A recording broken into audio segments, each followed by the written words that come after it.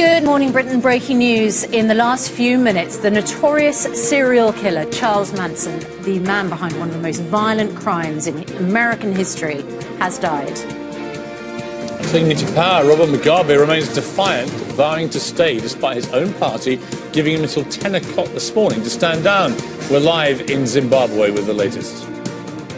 The true cost of the Brexit divorce. Will Theresa May be forced to write Europe a blank cheque to end the negotiating deadlock?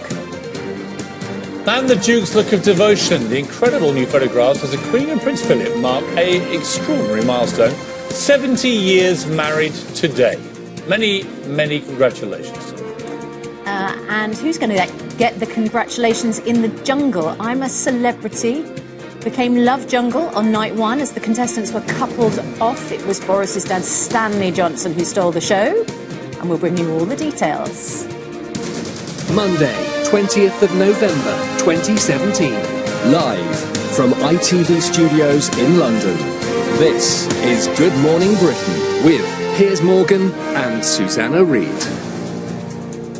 Very good morning to you. So um, let's update you then on the breaking news this morning, morning is that the notorious leader of a murderous cult, Charles Manson, uh, it killed actress Sharon Tate and six others back in 1969.